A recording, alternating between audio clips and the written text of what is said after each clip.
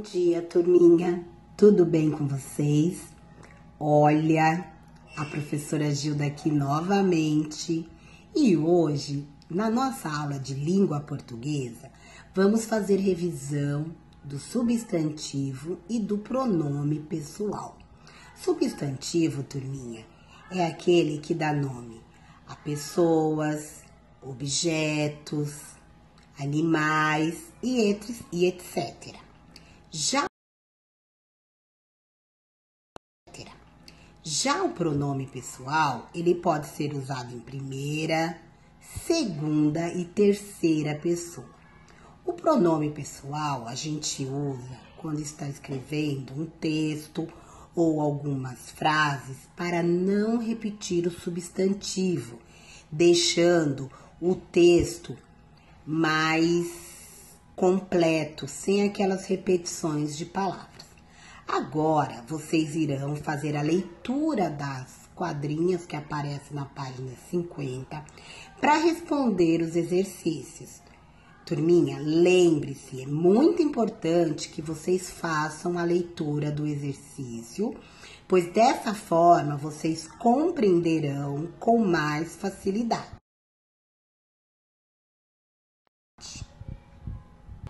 Aqui nós temos um quadro falando sobre o substantivo e sobre o pronome pessoal.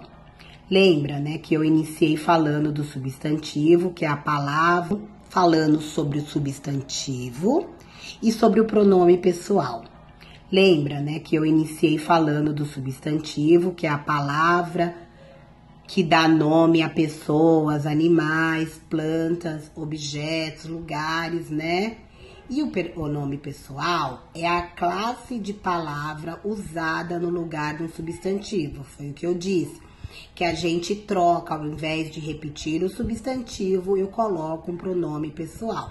Então, eu tenho primeira pessoa, que é eu, me, mim, comigo, nós, nos e conosco. Segunda pessoa, tu, te, ti, contigo. Vós, vos e convosco. E terceira pessoa, ele ou ela, o a, se, lhe, se consigo, lhes, os, as, se, lhes, se e consigo. Nesse exercício, turminha, vocês vão ter que fazer o alfabeto. E lembrando que cada letra do alfabeto representa um número. Aí vocês vão colocar o número embaixo da letra do alfabeto para descobrir qual é o número e colocar no lugar. Então, por exemplo, letra, o número 16 representa qual letra do alfabeto. Eu volto lá no alfabeto, vejo qual é a letra e coloco. E assim eu vou fazendo em todos os exercícios para descobrir qual é a palavra que vai ser formada. Lembrando que nesse exercício vocês terão que somar os números depois em cada grupo para saber o resultado do exercício embaixo, porque vocês vão ter uma soma e depois essa soma vai formar uma palavra, certo, turminha? Então, continue lá, páginas 50 e 51, fazendo os exercícios. Para finalizar esse conteúdo, vocês farão o exercício 3, onde vocês irão ler um pequeno textinho e responder os exercícios. Olha, turminha, é, tem algumas respostas que são pessoais, outras vocês irão fazer de acordo com o texto. Lembre-se, quanto mais a gente lê, mais a gente aprende. Parabéns, turminha! Bom trabalho!